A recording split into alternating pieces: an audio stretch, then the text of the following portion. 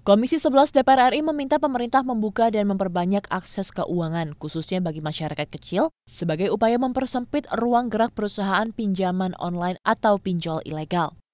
Anggota Komisi 11 DPR RI Hendrawan Supratikno memaparkan kondisi kebutuhan masyarakat yang begitu besar dan tidak diimbangi dengan suplai ketersediaan dana yang telah menyebabkan biaya meminjam atau borrowing cost cenderung lebih tinggi.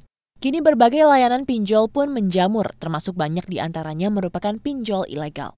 Keadaan seperti itu juga diperparah dengan kurangnya alternatif bagi masyarakat, khususnya kalangan ekonomi ke bawah dalam mendapatkan akses pinjaman uang.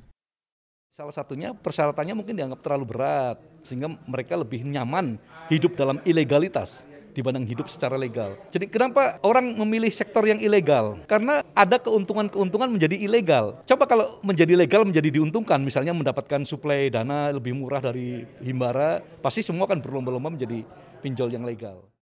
Head of Center Innovation and Digital Economy Indef, Nailul Huda, menilai meningkatnya minat masyarakat terhadap pinjaman online harus diikuti dengan penguatan dalam regulasi.